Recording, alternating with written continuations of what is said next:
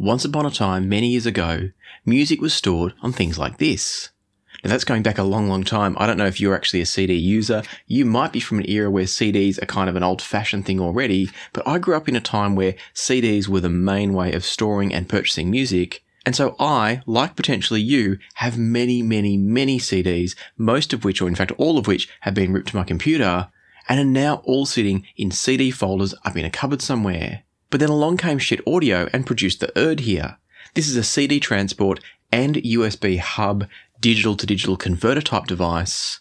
And it might just change the way you interact with your CDs if you're like me and you still own some, or if you're tempted to go out and buy some new ones.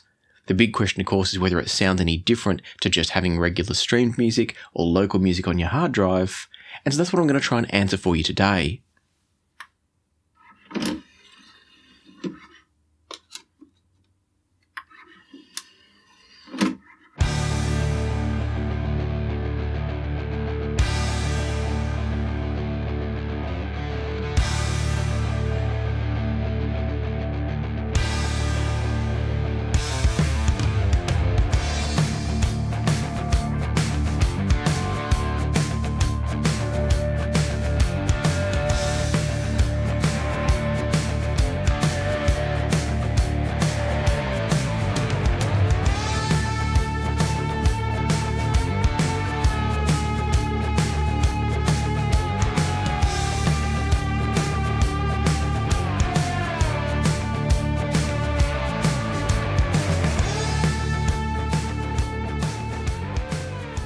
The Urd is a 1,299 US dollar CD transport and kind of digital to digital converter USB hub type thing. And so it's pretty unique in the market and is going to have a fairly niche group of people that are really going to be interested in it.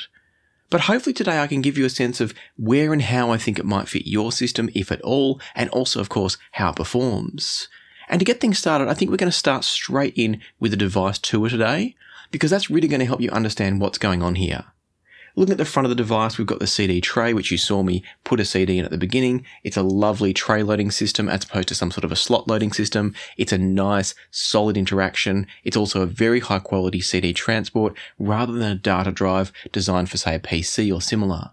Now, whether that means anything in terms of sound quality, we'll talk about that a bit later on, but that's definitely one of the claims to fame of the Urd. It's also worth noting that the way this is set up, being a dedicated audio CD transport, means that it will only play Redbook CDs, meaning that you can't put in a disk full of MP3s or WMAs or FLAC files. None of those data disks are going to work. I haven't tested it with a, a writable CD. I don't know if it's going to work for writable CDs. I actually don't own any anymore to test them, but with any professionally recorded and released, properly produced CD, it's going to drop right into here and play no problems at all. From there, as we look at the front panel, and there's a bit of weight to this because it's got a proper toroidal transformer inside, as I understand it. In fact, I think it's got two separate linear supplies, one for the transport and one for the digital hub side of things, if I remember correctly. I don't get too caught up on that sort of stuff. What matters to me is how well it works, and I'll get to that shortly. But the point is, it's got a bit of weight because there's a lot going on inside the Urd. And as we look at what else you've got on the front panel, we've got a series of controls here as you'd expect, being a CD transport, this needs a stop button, which is also your eject button. It needs a forward and backward skipping button and a play button, which is also your pause button. We've then got a remote control sensor there, and the remote control is just here. The remote control has all the buttons you would need. It's the same as along the front panel here. And the nice thing is that because it's held together with magnets, those same magnets allow you to connect it permanently, like so, to the side of the device, so you always know where to find it. Moving on from the remote control sensor, we've then got two final buttons. One of them is to choose the input you're listening to, and the other is to choose the output that you're using. Then we've got this lovely display here. It's very, very simple, but also very clear and easy to interact with. What it's going to show you is obviously playback status of the CD, which track you're on, and how far through the track you are. But then also it's going to show you which input you're using, and the inputs could either be the CD or the inputs on the back that I'm about to show you in a second and then which output you're using as well. So let's go to the back and look at those. On the back of the device here, what you'll notice is things are pretty sparse. There's not a lot going on, but what is going on is pretty unique. First of all, let's get the simple stuff out of the way. We've got a mains power socket here with the power switch. As usual in Schiit's custom style, the power switch is on the back. Having said that, this is a device that you probably want to leave on all the time.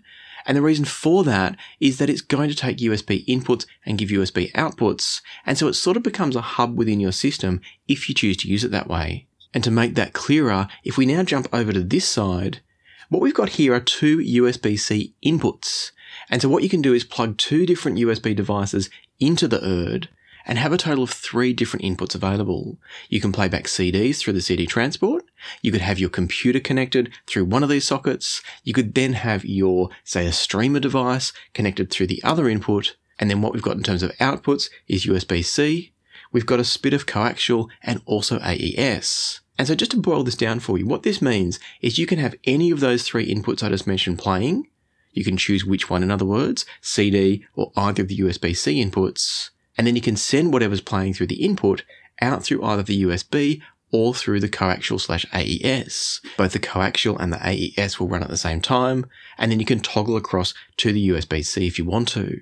And so I think the key use case I can see for this is that you would take your DAC, whatever DAC that might be. I've largely used this with Schiit's own Yggdrasil DAC. You can take that DAC and you can connect it up using whichever output here you want to.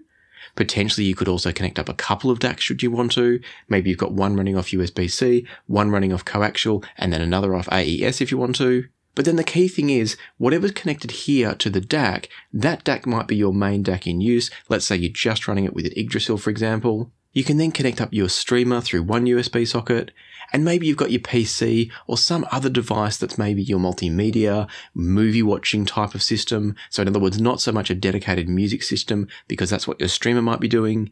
This could be your secondary kind of, as I said, PC for gaming, watching movies, things like that. And then of course, you've also got the CD transport as a third input. And so now all three of those inputs can be fed out to the DAC of your choice via the output of your choice.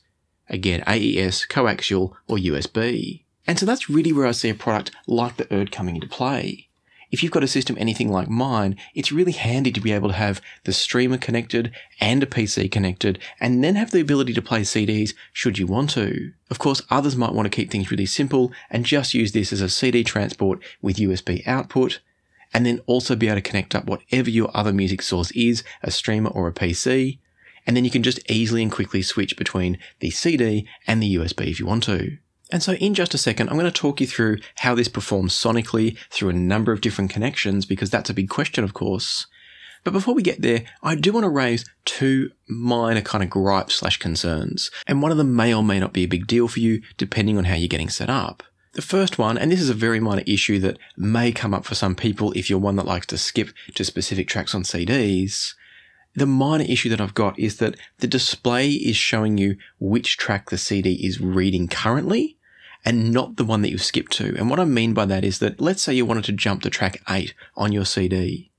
You'd put the CD in, it would start playing, and you'd go click, click, click, click, click seven times to jump from track 1 through to track 8. The problem is that the display is still going to be stuck on track 1 until the CD transport actually maneuvers itself into position to start reading track 8. Now, the reason that could be a slight issue is that you don't know until the CD gets there if you happen to stop on the right track. And so you might have clicked seven times, maybe you clicked six times, maybe you weren't sure if one of the clicks registered, and there is a bit of a lag and a delay before you get confirmation. As I said, it's a really, really minor thing, and if you're anything like me with a device like this, you're not looking at it as a device to skip through different tracks on CDs so much as to put in a CD and enjoy an album. And so I don't think it's going to be a big deal, but I did want to mention it. The other slight challenge that I've had with the Urd is in connectivity. And it's probably due to Roon, I think, because it didn't seem to happen when I ran my music through JRiver. But because Roon likes to identify the downstream DAC that it's working with, what I found was that when I tried to run the Urd with, say, my M scaler, or even also I've got the Topping D70 Pro behind me here that's coming up for review soon, what I found was that if I was running through Roon, Roon didn't like me having the Urd connected as my first stage of connections and then feeding out through USB and into the D70 Pro or the M scaler or whatever it might have been. Of course, if you're using AES or coaxial, there's no issues here because there's not two-way communication. But if you did want to have USB coming into here, going out to a different USB DAC, and you're running that DAC connected also to Roon, or Roon's looking for that DAC, and I haven't played around with all the permutations of how you might connect it up and set it up within Roon, but do be aware there might be a little bit of fiddling involved to get it all to work properly. And what I might do after this review, because I've only really just gotten to the bottom of what's going on and I didn't want to delay the review any further, what I might do at the end is go through and do one last little test where I remove something like the M scaler from Roon altogether and then see if I can get it to play out to the Urd, not looking for the M scaler and still get it to work. So check the comments down below. I'll pin a comment or I'll put something in the description to let you know if I'm able to get it to work properly and how I got there. But those are my only real concerns with the Urd. In all other ways, it works really, really well. Personally, I would have liked to see a USB-A socket on the back as well as a USB-C, or instead of a USB-C. And the reason for that, and I'm talking about the output here, the reason for that is that for many DACs out there that still have USB-B connections, finding a USB-C to USB-B cord was a little bit fiddly, and it didn't give me very many options when I looked on Amazon. I'm also, as many of you will know, a fan of better quality cables, and so therefore you're also going to be limited by the cables available going from USB-C to USB-B. If you've got a USB-C DAC, then USB-C to USB-C is getting pretty common. I don't know how many audiophile cables there are with that setup as yet, but I do know that there's plenty of options online for different styles, different lengths, etc. If you're not worried about having an audiophile cable, but you just want one that's the right length, the right style, etc. And so with all that setup out of the way now, let's jump to how the Urd performs in terms of the sonic performance, how you might connect it up differently, what impact it might have on the sound. Let's cover off all of those things. And of course, how the CD transport performs. Unfortunately, I no longer own any other sorts of CD players. I thought I still had an old Sony Blu-ray player around the house that I was going to test up against the Urd, but unfortunately I didn't have it anymore. So I can't tell you exactly how this performs versus a generic CD player, DVD player type device. But suffice to say that when I compared the Sony Blu-ray way, way back against streaming or my local PC files, there was absolutely no benefit to be heard from the Blu-ray player, and I don't remember maybe even the local or stream files were better, I don't recall, but the point is there was no point keeping the Blu-ray player because it offered no benefits. And so one of my first tests was to see how did the CD transport in here compare to streaming the file direct to my PC. And so the way that I had this set up was I had Qobuz streaming into my PC using Roon. From my PC, it fed out to the Urd, and then that allowed me to send it from the Urd through AES into the Schiit Yggdrasil. What that then meant was that I could also play the same CD that I'd found online and also run that CD at the same time and switch quickly and easily between the streamed copy of the file and also the local CD transport playback. I went through a number of tracks on this one to make sure that I didn't end up with a different master for the streamed version compared to the local CD that I was playing.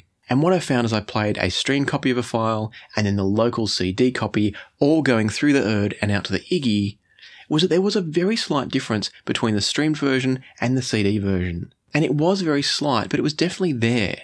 The streamed version seemed a bit flatter in sound. It didn't have the same sense of kind of space, three dimensionality, and overall sense of dynamics, I guess you'd call it. But I would call out that it was a pretty subtle difference. It didn't have me thinking that this had completely transformed my listening experience.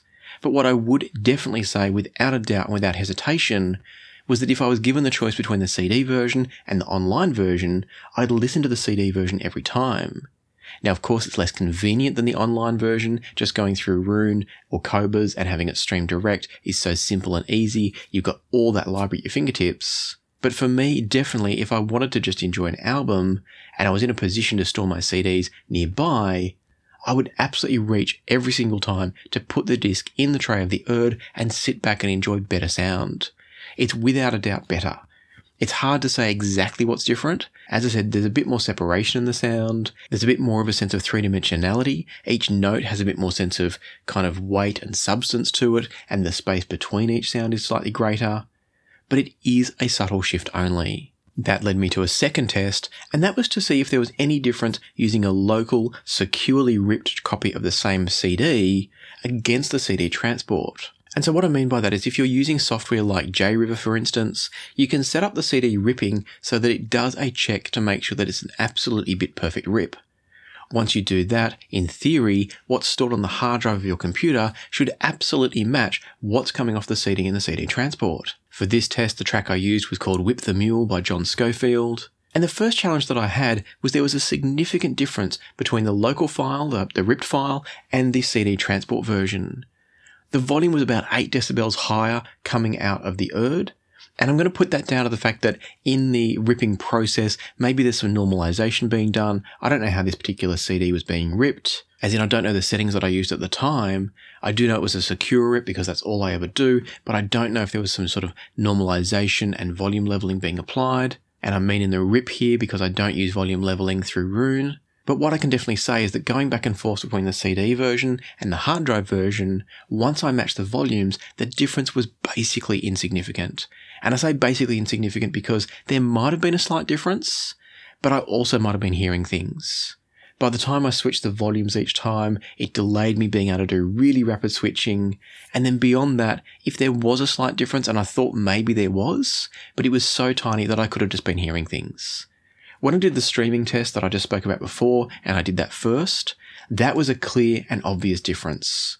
When I got to the local hard drive versus CD, then I couldn't say there was clearly a difference. There might be, but if it's there, it's absolutely tiny. And it's so tiny that I couldn't pick which was better. They might have just been a tiny bit different.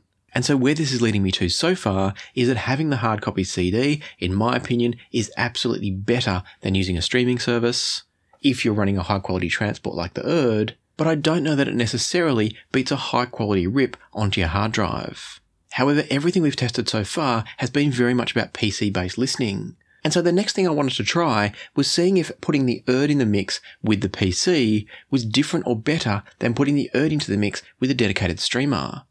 Connecting up the DMP A6 from Eversolo, and a review for that one's coming soon.